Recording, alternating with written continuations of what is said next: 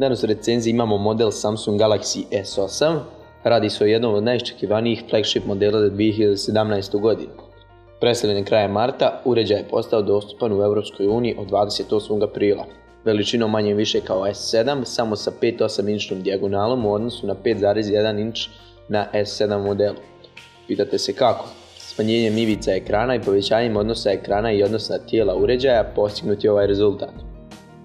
Senzor otiska prsta se sada nalazi na zadnjoj strani pored kamere, a hardverske tipke su zamijenjene softverskim na ekranu.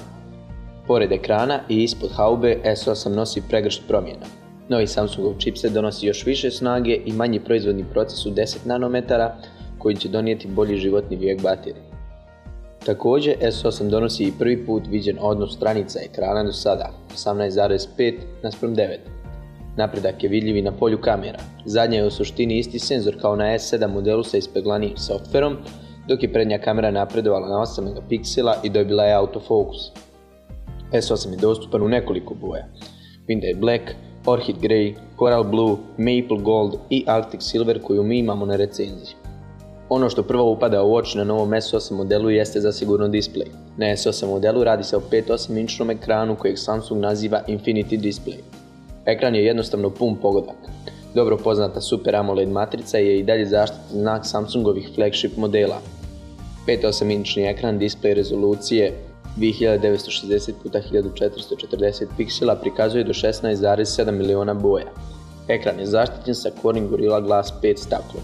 Naravno tu je i Edge Screen koji krije prečice do najčešće korištenih aplikacija ili vaših omiljenih kontakata. Ono što izdvaja S8 pored zakrivljenih ivica i rezolucije jeste odnos njegovih stranica ekrana, 18.5 naspram 9. Nestandardan odnos stranica ekrana može predstavljati i problem prilikom pregledavanja sadržaja predviđenog za drugačiji odnos stranica, pri čemu dobijamo crne ivice i samim tim ne možemo iskoristiti čitav ekran modela S8. Always on display je također prisutan i odlično se uklapa u čitavu priču oko ekrana. Vidljivost na suncu je odlična, vjerovatno najbolja do sada viđena na mobilnom telefonu. Senzor osvjetljenja ekrana je jako efikasan i uz automatski režim rada nudi odlične vrijednosti najviše i najniže osvjetljenosti. Galaxy S8 dolazi sa 12 megapixel dual pixel glavnom kamerom i 8 megapikselnom prednjom kamerom sa autofokus sistemom, što ga čini prvim Samsungovim uređajem sa autofokus sistemom na prednjoj kameri. Iako je po parametrima dosta sličan senzoru kao na S7 i S7 Edge modelu, primjenom boljih parametara i detaljnom preradom softvera, kamera S8 modela bi trebala donijeti do sada najbolje iskustvo slikanja u Samsungovoj ponudi. Slike sa obje kamere su definitivno jedno od najboljih što se tiče pametnih telefona. Odlične boje, dosta detalja i brzina okidanja je ono što iskustvo slikanja sa S8 modelom diže na novi nivo. Pored svih novina koje su vidljive na prvi pogled, najveći napredak je ispod haube.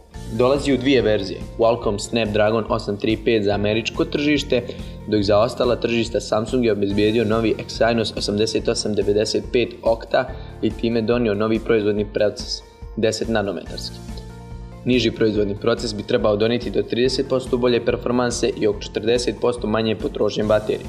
Verzija sa Exynos chipsetom donosi 8 jezgri, od kojih 4 radi na 2,3 GHz, a druge 4 na 1,7 GHz. Brže jezgre su zadužene za zahtjevnije operacije, dok za svakodnevni rad koristi 4 sporije jezgre. Kod Qualcomm Snapdragon 835 verzije također imamo 8 jezgri, od kojih 4 radi na 2,35 GHz, a ostale 4 na 1,9 GHz.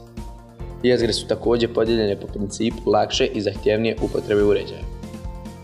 RAM je i ovaj put 4 GB DDR4 memorije, dok interna memorija ima samo jednu opciju, a to je 64 GB. Zahvaljujući odličnom hardveru, S8 se pozicionira u sam vrh Android ponude.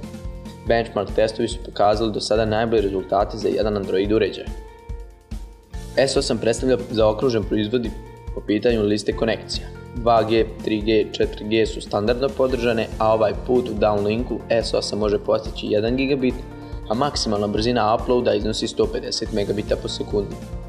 Mi na testu imamo single SIM verziju, a naravno u ponudi je i dual SIM verzija. Kod modela sa jednom SIM karticom microSD slot je odvojen, dok kod modela sa dvije SIM kartice microSD se smješta u slot za SIM karticu. Type-C je postao standard za višu srednju klasu i premium klasu, tako da je isti prisutan i na S8 modelu. U paketu isporučen pregled sa Type-C na micro USB, kao i pregled sa Type-C konekcije na klasični USB priključak. S8 donosi bateriju istog kapacitete kao i prošlogodišnji S7 model. Radi se o lithium-ion bateriji kapaciteta 3000 mAh, koja i ovaj put ne može da se ukloni bez prethodnog otvaranja telefona.